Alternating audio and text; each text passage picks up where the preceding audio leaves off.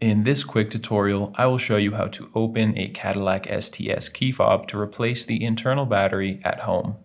Um, now, some of you out there might have this device, uh, but a different version that has five buttons. As you can see, I have four, um, but I think some of them have this one button is actually two. It doesn't matter. They're the same device, and the process to open them is the same, and the battery is the same. So just follow along with me here, and I promise we will get a new battery in your device in under five minutes.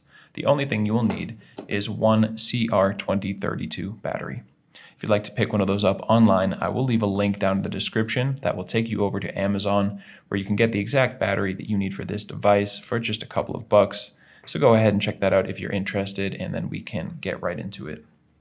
So the first step is to hold down the button here on the front of the device and while you're holding that, pull out the internal key.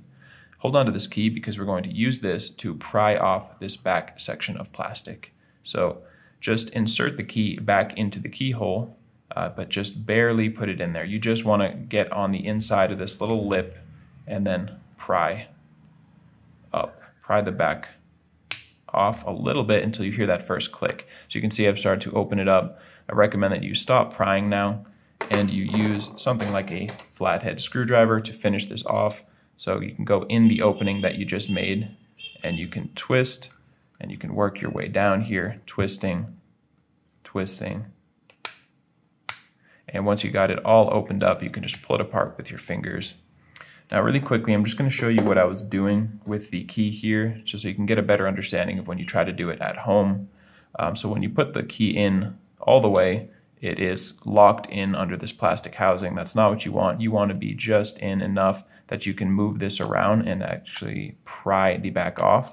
So in here's too far, you just want to be right on the lip there and pry this off. Hope that helps you. Uh, makes it a little bit easier for you to understand what I was doing there. So next step is pretty easy. We're just going to gently lift out this battery. You can just pull up on one of these little tabs and the battery will come out with this little metal component attached. So go ahead and push the battery out of there set this piece down um, and now dispose of your old battery.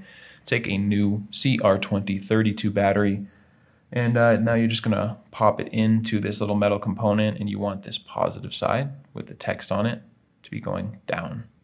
So you'll just click it in there. You can see how it's all oriented there, positive side down. And now we're just going to drop it back into its housing. So obviously this little space, there's the circle and that little space is for this piece that juts out. So position it just like that and click it into place. And from here, we can just put the two halves back together. I suggest putting this on top of the half with the circuit board because the circuit board can actually fall out. And uh, then you'll just have to put it back in. It'll take a little bit longer, so just set this on top. And once it's lined up, you just squeeze it all back together. Last step, you just put your internal key back in there and you are good to go. I hope that was helpful for you, and if it was, feel free to let me know by giving this video a like, or you can tell me down in the comment section. And if you ever need help with another one of your key fob devices, you can come back to this channel. We have video tutorials for pretty much every key fob from every maker model out there. And you can also get that information over at our website, fobbattery.com.